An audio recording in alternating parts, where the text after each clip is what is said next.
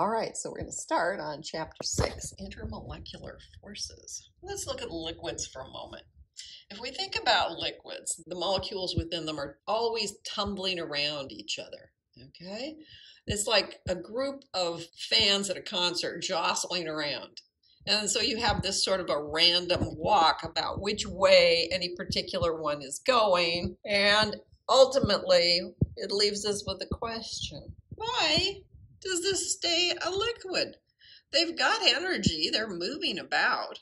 What is keeping these molecules in contact with each other instead of just dispersing and becoming a gas? So the first point is about intermolecular forces. Where do they come from, right? We're talking about a Coulomb interaction. This is energy that is due to the charges.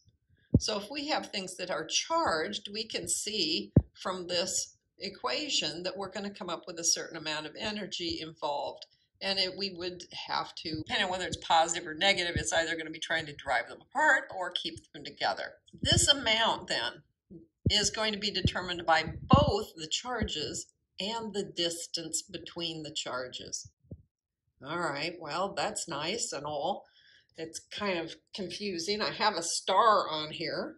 My star must mean something. So let's think about star number one. Star one is simply saying that the energy has to be put together in such a way that we have Newton meters, in other words, joules. So if you look at these, you find out that Q is actually in coulombs and R's in meters, but the meters are in the denominator instead of in the numerator. So this epsilon naught has to do a lot of work in order to cancel out all of the various units.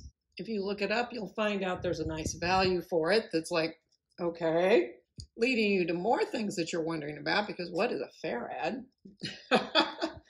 but if you go and you look through all of the units, you'll find out that it will all cancel out and you will end up with joules for this EP will end up being in joules. Now, on the uh, macroscopic scale, temperature helps give you an idea of how strong these attractive forces are. If the temperature is low at the boiling point, it means the attractive forces are also low.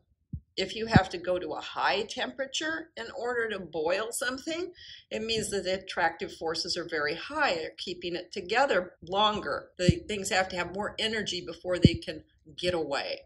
So boiling point is a macroscopic indicator. And so are a couple of other properties, viscosity and surface tension. Those tell you a lot about the attractive forces. You'd learn a lot more about those in Chem 10.